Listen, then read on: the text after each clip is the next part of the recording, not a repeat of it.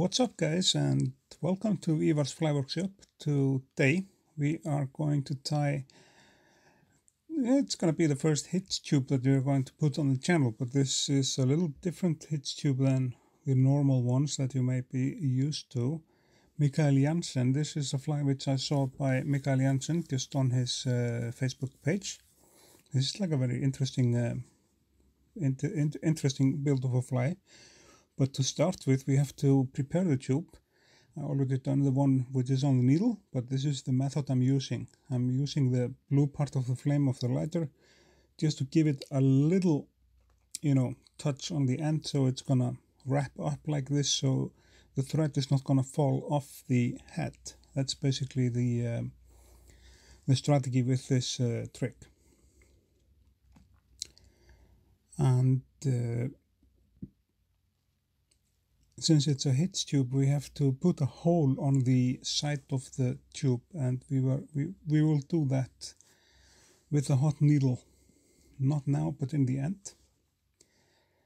And uh, then the uh, tippet goes through the hole, so the fly is not straight in the water; it's uh, leaning to the side a little bit, which means it's gonna leave like this mark on the water when you lift your rod and it's going to float kind of. That's what the what the hitch is about. And the hitch is um, like the next generation of the Portland fishing technique where you just put a knot a couple of knots on, on the over the head of the head of your fly to make it undirect in the water.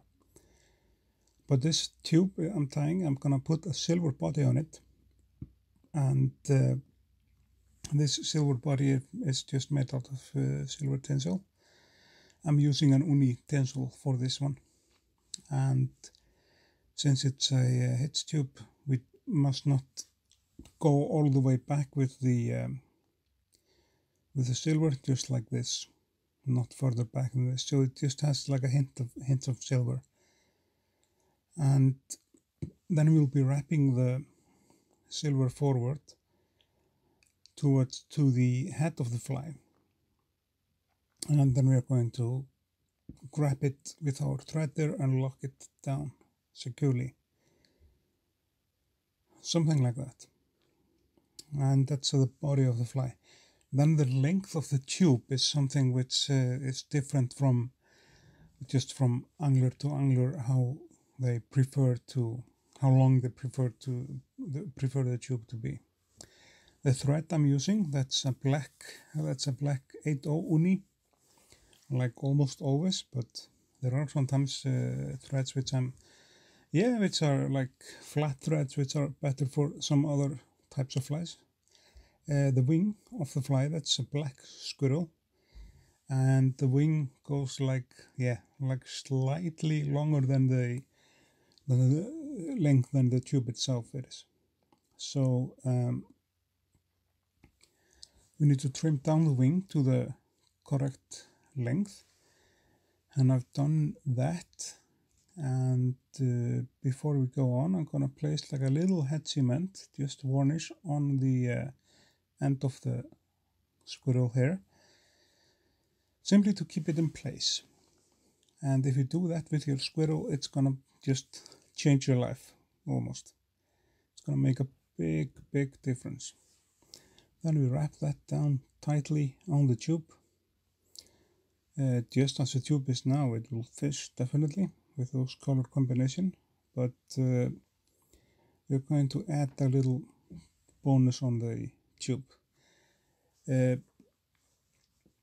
since it's a riffle hitch uh, tube, which I saw on Mikael Jansen's uh, page on Facebook, uh, we are going to add a little piece of foam on it as well. And we're going to add like a yellow foam so it helps as well to kind of drag attention to the fly in the water or just on the surface while it's skating on the surface. And it's gonna as well of course gonna keep the uh, and increase the buoyancy of the fly. So we take a couple of wraps and it's a yellow foam. It's just an A4 uh, sized foam page I got and you can buy those in yeah bookstores and some other places as well. Maybe your local local supermarket has it. Then we are going to snip off like so. And what we have to be aware of when we are working with the foam like in this case for an example we must not put too much pressure on the thread because if you have like a yeah 8 thread the 8 thread can easily cut through the foam. So if you do it too hard in the very beginning or too tight wraps it's gonna it may cut the foam into pieces and that's something which we do not want. Some people would suggest then to use a thicker thread like a 6 or like a 140 deniers just uh, only if you're careful with it like I'm doing it's gonna be just fine.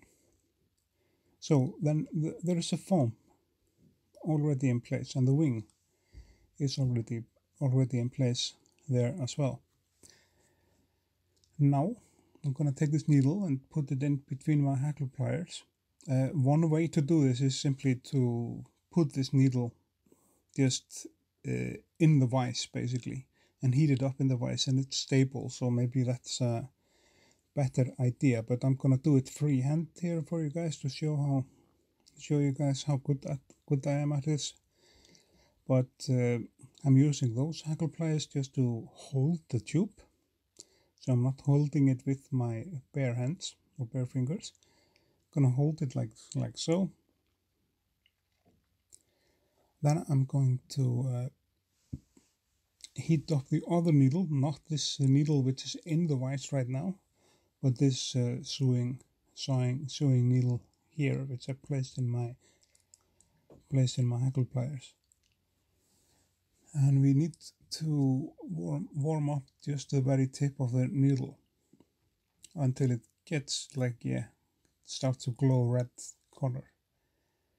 And you don't want to be holding the needle while you do that because not only the tip tip of the needle gets warm, the needle can get warm. And then you just place it and penetrate the tube with it.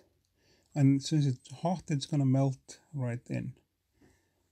Uh, notice to that this hole on the tube, it's maybe, I don't know, a millimeter or a couple of millimeters, a little bit too far back. I know that, but uh, it's gonna work anyway but uh, I would suggest when you guys do that is to do the hole like a little bit a uh, little bit further front.